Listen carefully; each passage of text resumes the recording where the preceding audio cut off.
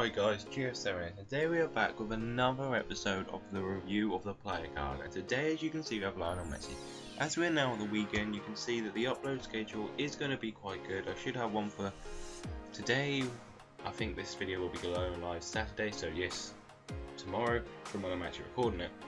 And I should have one for Sunday as well. I'm not sure which player I'm doing yet. You can leave your comments down below if you'd like to help me decide which player I should do, or if I could do a completely different video. Anyways, as you can see, we have Lionel Messi. Lionel Messi, who has been downgraded to a 93 overall card.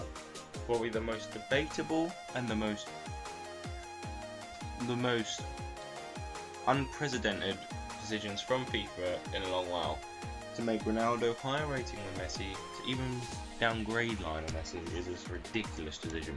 Now guys, let's get into the two different stats of two different players and compare them. So guys, as you can see, Messi has gone downgraded by 1. His pace has been downgraded by 3. Is that because of age? I don't know.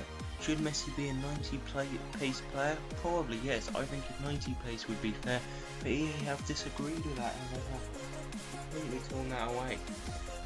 Should he has, he has I don't think he's had 90 shooting before, and 90 shooting is what he's up. I'm surprised he's never had that before, because he is Lionel Messi and he has performed well throughout the thing, throughout the years. And he has 86 pass and can stay the same.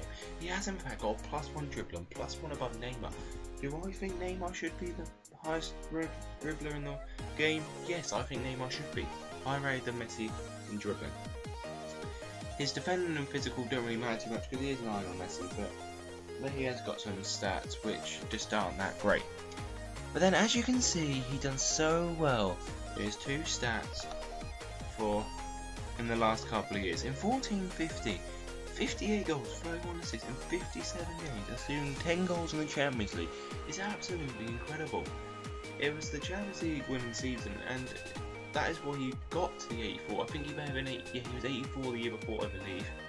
And so he has stayed there. And then this season he has done worse. But he's played 8 less games and he scored 17 less goals. And got 7 less, uh, 5 less assists, which is which shows it is. He has done worse.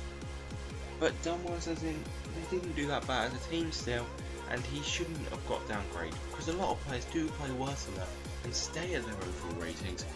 And I think he should have 90 pace, 90 shooting, probably 95 dribbling or Canadian, unless they're going to give 97 to Neymar. But that is how it should be, guys. Obviously, let's get into the final overview of Lionel Messi. So guys, you probably saw from the whole of this that I disagree.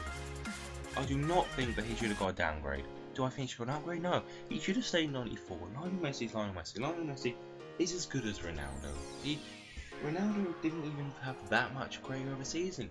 He didn't even get top goal scorer in the league, and that was Luis Suarez, and Luis Suarez only 92 rated. So yeah, this is it's a debatable one, but I do think that Lionel Messi should be 94 rated along with Ronaldo, because he still performed well, including the Copa final, which is just it's, it's just another big achievement. If he would have won it, he would have definitely been a 94 rated player. Anyways, I've been GF7. If you enjoyed, please leave a like rating. If you'd like to tell me what another player to do, please comment down below and subscribe for more content. Anyway, I'll see you later. Goodbye.